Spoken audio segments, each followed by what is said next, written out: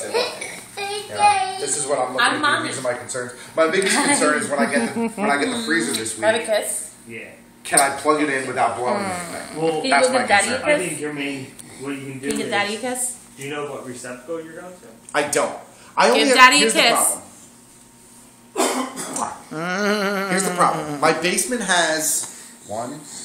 Two. Can you give Nana a kiss? My basement only has three outlets. One outlet is the dryer, but I don't know what. el- I don't know if any of the other ones in the basement are on that same outlet. The other outlet has. Hi, I found you. I don't know right.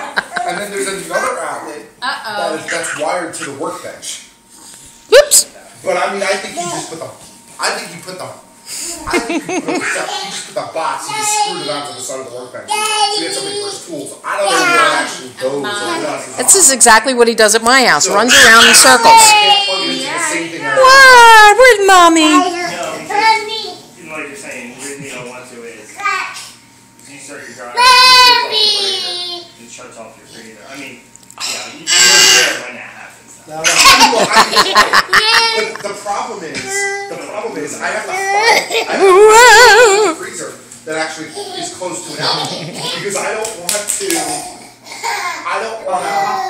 I don't want to run an extension cord and plug in the freezer.